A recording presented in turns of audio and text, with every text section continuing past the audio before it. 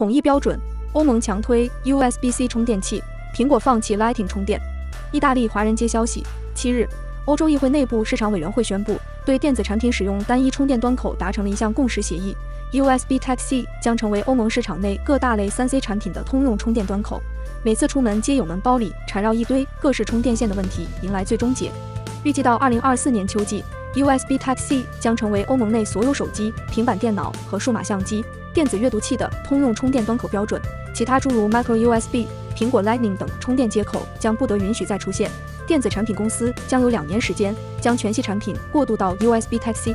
根据欧盟流程，这份协议文本将即刻提交给欧盟各国大使批准，然后转交给欧洲议会。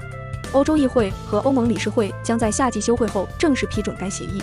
早在2019年，欧盟就曾提出要将境内销售的智能手机等消费电子产品的接口统一为 USB-C 标准，但遭到以科技巨头苹果公司为代表反对浪潮。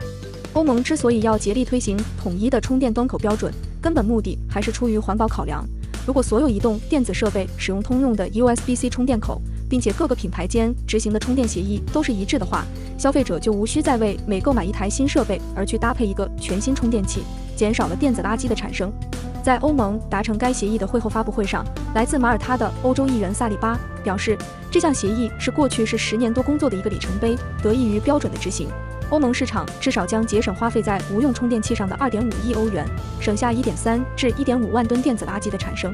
对于笔记本电脑系列产品充电器的过渡，萨利巴则介绍称，将会额外留有十六个月的厂商准备时间。尽管欧盟委员会特别强调，统一使用 USB Type-C 的充电标准不是针对苹果公司，但用惯了 Lightning 接口充电标准的 iPhone 还是这项规则的最大苦主。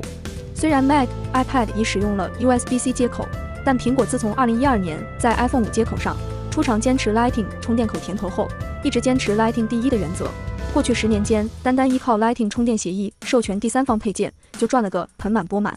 根据苹果知名分析师郭明基的预测，苹果最早将在2023年下半年发布带有 USB-C 接口非 Lightning 接口的全新 iPhone 系列产品，但业界仍不排除 iPhone 在2024年秋季以后推出欧盟 USB-C 充电口特供版 iPhone 产品的可能。而2021年，苹果在全球售出2.41亿部 iPhone，其中5600万部销往了欧洲，全部都配备了苹果自家的 Lightning 充电接口。